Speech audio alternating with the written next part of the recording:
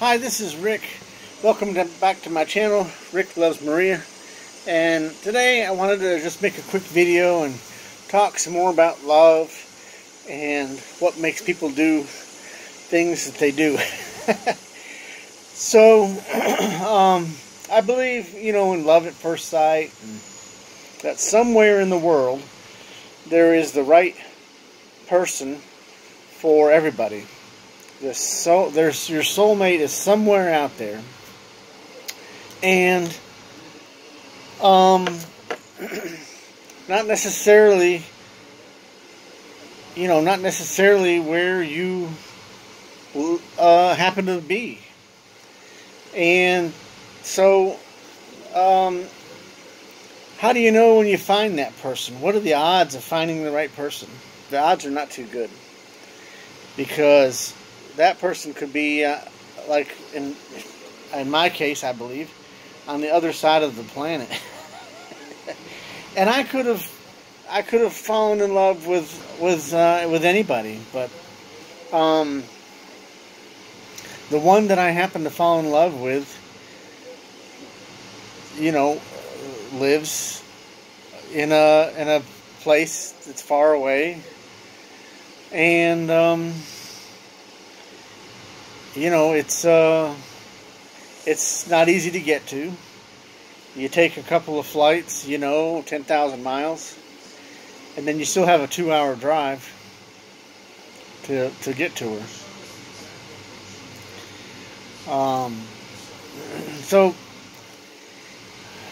you know, I mean, I, I, I could have fallen in love with somebody closer, somebody on this side of the world. I don't know, but um, I could have, you know, picked somebody else, but the person that I just, my, my personality just kind of happens to work well with um, some kind of flies or something flying around.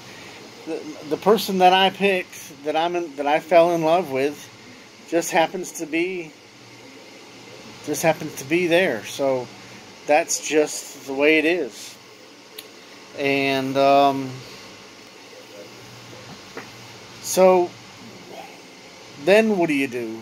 You know, and this ha- this has happened, I'm sure, for many years. You know, um, what was it? Uh, the Mutiny on the Bounty is a great story about uh, the the sailors that went to I think it may have been Tahiti or somewhere, and, and they once they got there they didn't want to leave, you know, or they, they, they were supposed to sail back probably to England or something, and and they fell in love with these beautiful um, island women, and, and they just wanted to stay there, you know, or or form a new place, start a new life there, and, and, I can understand that.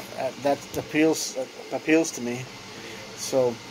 Um, so that's how it is. You never know where the right person for you is going to be.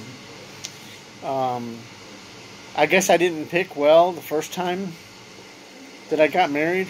Uh, maybe I picked someone who didn't have the qualities that I should have looked for, and there were some clues in the beginning. But this time, I'm really sure that I picked the right person.